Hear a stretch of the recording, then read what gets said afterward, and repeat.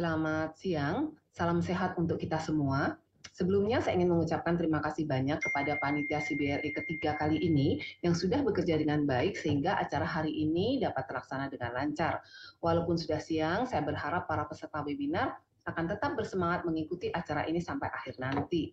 Baiklah, pada kesempatan kali ini eh, saya akan eh, membawakan presentasi eh, dengan judul The Role of Imaging in the Diagnosis of Spinal Tumors sebagai pendahuluan, spinal tumor merupakan uh, jaringan abnormal yang uh, tumbuh di dalam ataupun di sekitar spinal cord maupun spinal spinal column, menyumbang sekitar 15% dari seluruh neoplasma pada central nervous system.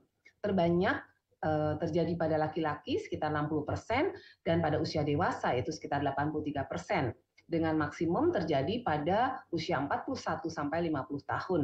Biasanya tumor-tumor ini tumbuhnya lambat, sehingga kita perlu mempertimbangkan eh, kasus ini pada pasien-pasien yang datang dengan keluhan nyeri pada leher, pada punggung, adanya radikulopati maupun mielopati yang berlangsung lama.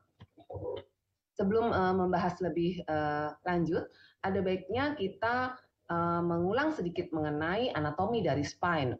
Spine itu sendiri dibentuk oleh komponen osius atau tulang yang terdiri dari corpus vertebrae, ada pedicle, facet joint, dan juga processus spinosus. Dan di bagian tengahnya eh, terdapat spinal column, di mana di dalam spinal column ini terdapat spinal cord yang terdiri dari gray dan white matter, seperti pada brain, sedangkan pada eh, spinal column itu sendiri dilapisi oleh meningen yang juga merupakan kelanjutan dari meningen di intrakranial yang terdiri dari uh, pia mater, arachnoid, dan dura mater. Selanjutnya dari spinal cord akan keluar nerve root yang akan masuk melalui foramina neuralis kanan dan kiri dan selanjutnya akan memberikan persarafan kepada eh, bagian tubuh di perifer eh, lainnya. Dengan mengetahui anatomi ini dengan baik, biasanya kita dapat memperkirakan lokasi dari tumor berdasarkan gejala klinis yang ditampilkan oleh pasien karena biasanya gejala itu timbul akibat adanya eh, penekanan ataupun eh, kompresi eh, yang disebabkan oleh tumor pada komponen-komponen yang ada di sekitarnya. Spinal tumor dapat dirujuk dalam dua cara. Yang pertama adalah berdasarkan lokasinya di daerah regio spine, apakah berada di daerah cervical, torakal, lumbal maupun sakrum. Dan yang kedua berdasarkan lokasinya di dalam spinal itu sendiri.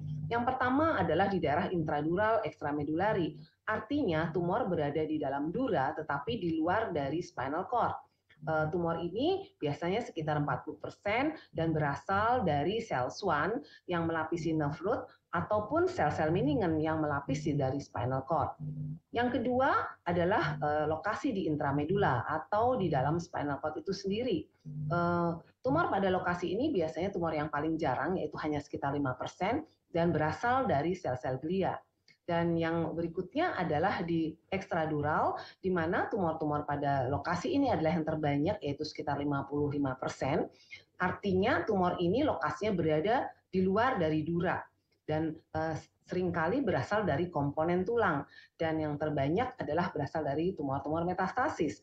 Lokasinya bisa di daerah epidural, bisa juga di daerah uh, tulang itu sendiri maupun di daerah jaringan paraspinalnya.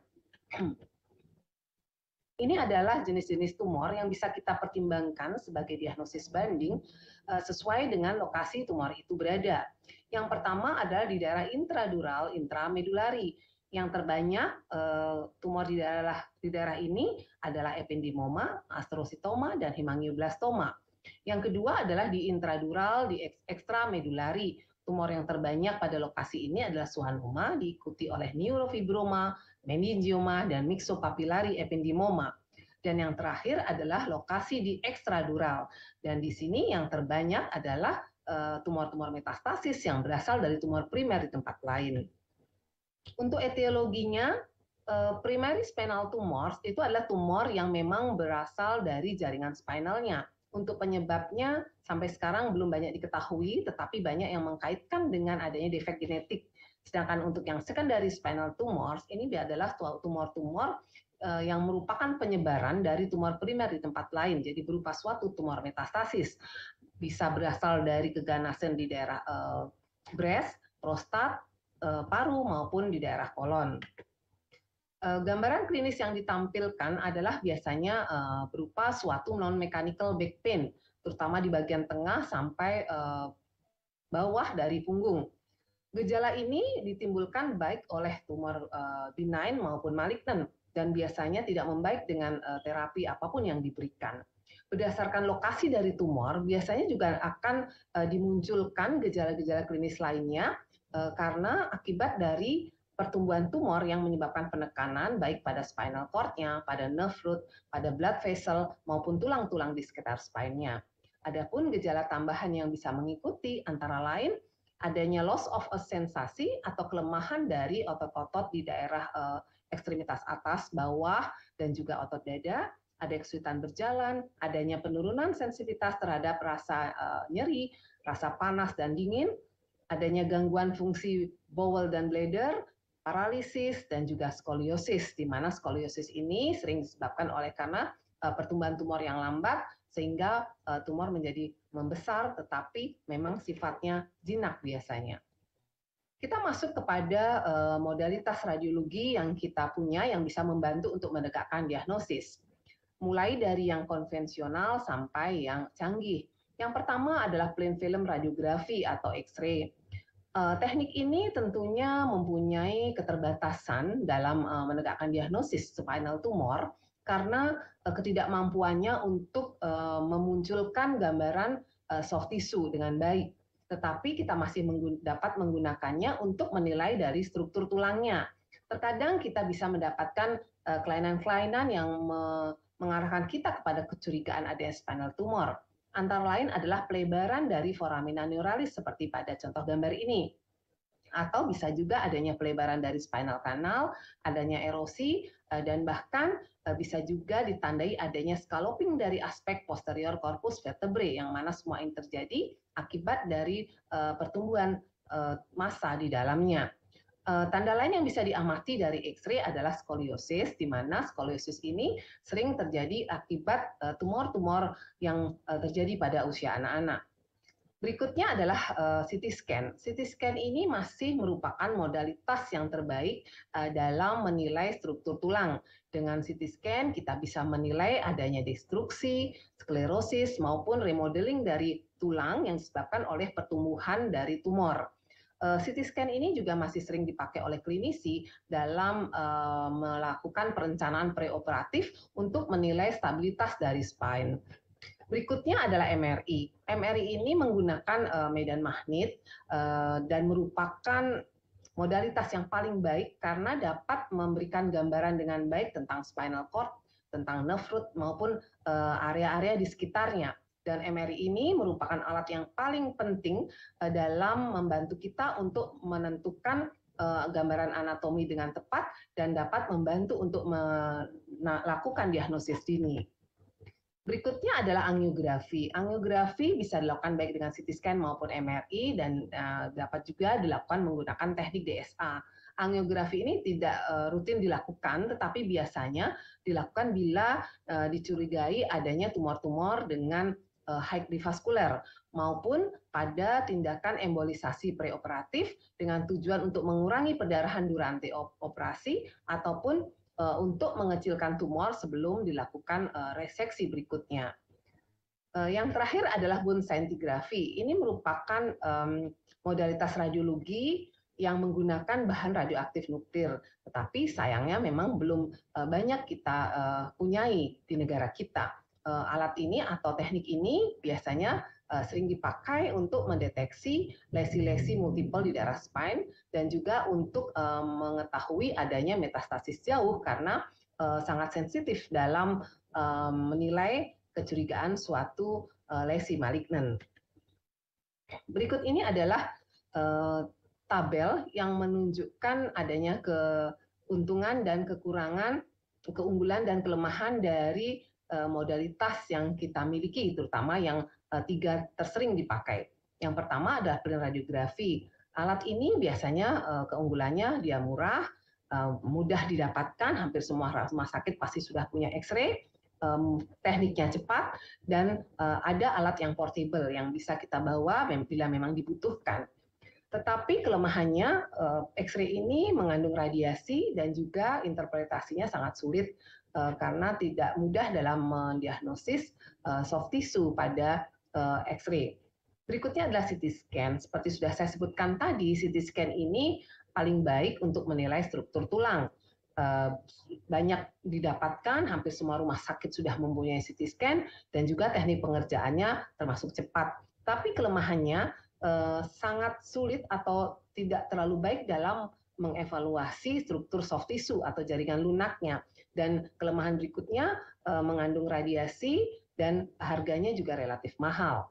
Eh, yang berikutnya adalah MRI. MRI keunggulannya adalah uh, paling baik dalam menilai struktur soft tissue dan juga tidak mengandung radiasi karena menggunakan gelombang magnet.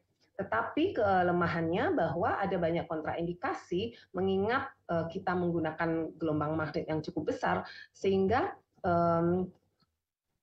alat-alat yang mengandung ferromagnetik seperti implan, uh, pacemaker, uh, intrakranial clips tidak mungkin kita lakukan pemeriksaan dengan MRI. Juga pasien-pasien dengan kelainan klaustrofobia atau takut pada tempat yang sempit juga biasanya sulit kita lakukan dengan MRI.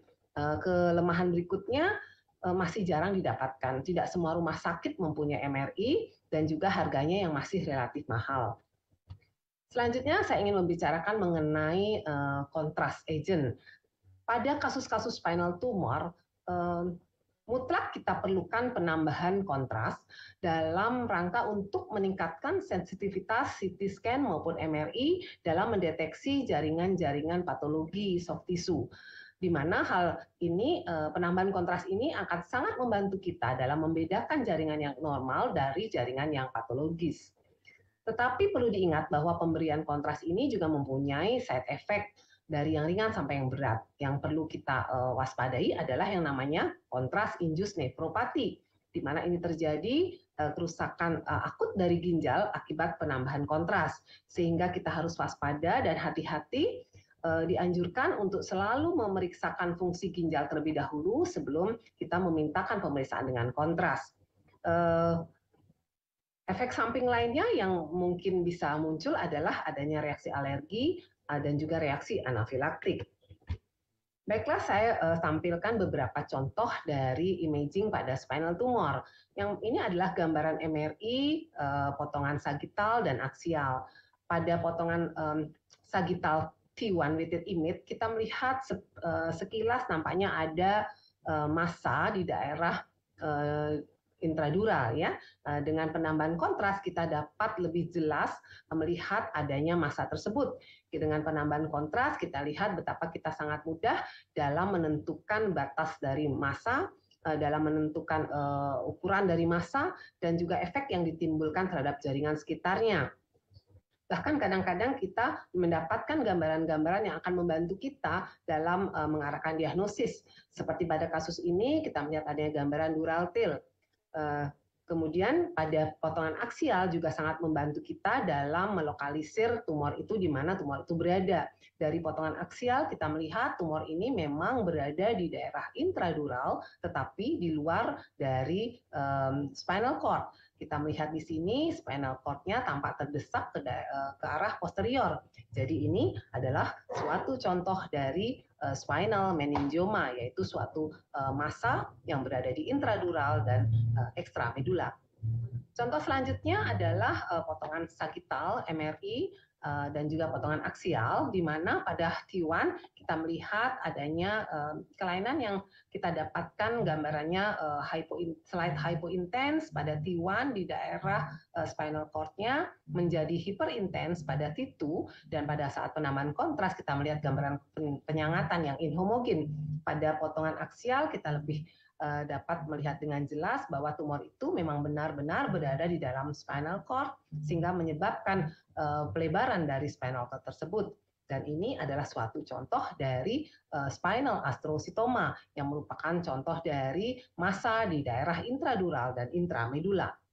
Berikutnya contoh lainnya adalah potongan sagital dan aksial dari MRI T1 uh, weighted image dan T1 dengan kontras. Di sini yang hmm, sangat menyolok kita melihat adanya suatu uh, kompresi dan destruksi dari korpus vertebra disertai perubahan dari intensitas signal bone marrow-nya. Selain itu, kita juga melihat gambaran massa di daerah posterior, di mana pada potongan aksial akan sangat membantu kita melokalisir tumor itu berada di mana. Tumor ini berada betul-betul di daerah ekstradural walaupun sebagian tampak menginfiltrasi ke dalam jaringan intradural. Dan ini adalah uh, contoh yang terbanyak dari eh, tumor-tumor spinal yang berada di ekstradural, yaitu suatu spinal metastasis. Baiklah, kita sampai pada samarinya. Jadi spinal tumor uh, menyumbang sekitar 15% dari craniospinal tumor dan dapat menyebabkan angka morbiditas dan mortalitas yang cukup signifikan sehingga dalam hal ini imaging mempunyai peranan yang sangat penting dalam menegakkan diagnosis secara eh, dini terhadap kasus-kasus spinal tumor. Tadi sudah disampaikan CT scan paling baik untuk menilai struktur tulangnya, sedangkan MRI adalah modalitas pilihan dalam melakukan penilaian terhadap spinal tumor karena dengan MRI kita dapat menentukan lokasi anatomisnya dengan uh, tepat uh, dan juga kita bisa pakai untuk follow up dan monitoring uh, terhadap respon terapinya. Baiklah, demikian presentasi saya. Terima kasih banyak atas perhatiannya. Semoga bermanfaat.